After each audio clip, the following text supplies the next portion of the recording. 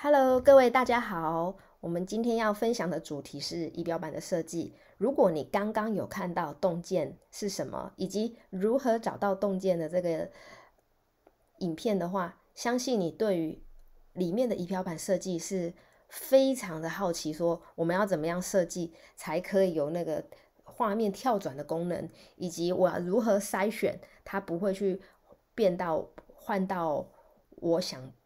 我不想被变动的画面。那我们先来讲，呃，过去我们只要加了这个筛选器之后，诶，照理说我随便按，大家每一个画面都会按，都会动。但是来到这边的时候，我们可以看到，不管我怎么去做点击，我们下面的对比是不会动的。那是因为呢，我在仪表板的设计，我做了一个小巧思。我们再做一次哦，我们在仪表板选择。动作的这里，其实如果是你是英文版的话，叫做 action 的部分。那我们在这个 action 的部分的时候，我们就会进到我们的年趋势。那在这个年趋势，我们可以按开编辑。好，年趋势的编辑，我希望它对什么动作呢？对大分类，对呃月趋势，这是这个这几个会去做做。做联动，好，所以我这边就会把它都选好了。那我不想要它对对比有反应，所以我就会把它取消，按下确定。OK，好，这就是为什么呃，我们同样的这个点击的方式跟这个漏斗的设计方式，它会让这个对比没有去做一个联动的筛选。那再来要跟大家分享的另外一个小技巧的话，我怎么样从第一层跳到第二层呢？这一样是跟我们的仪表板的动作设定是有关系的。好，那我们来看我们在仪表板的动作设定做了哪些事情呢？一样是非常简单。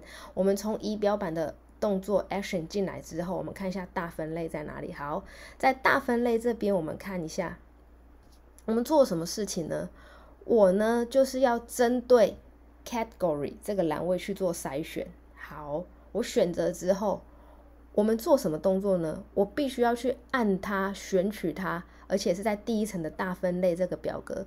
那它要帮我去做什么事呢？帮我跳到第二层，而且我希望它对我这三个工作表都会有影响。这样设定完之后，我们就可以保证，呃，让我们原本从大分类就可以从。第一层的大分类跳到第二层了哦，这个就是仪表板设计的一些秘密。好，那当然这里我是直接把最精华的部分讲出来。那例如说月趋势，我也希望它跟年趋势一样，不要去动到对比。那你月趋势它的动作你要去设计，毛利率你也要去设计。那这也就是为什么我们刚刚在这边我会看到说，哎，我明明就设计了这么多的。呃，算是动作的部分，但是为什么我只讲解其他的一个部分呢？例如说，我们讲这个年趋势的这个内容。好，那其他的其实因为都跟它一样，我们就不特别多说了。那里面最呃大家要记得的一个东西是，你要知道你的来源是哪一个，你的目标是哪一个。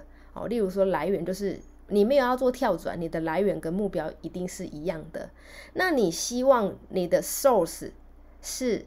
哪一个工作 sheet，它对工作呃仪表板里面的哪些有做联动，这个就是勾选起来。不希望它有联动的，就把它取消掉，这是一个大原则。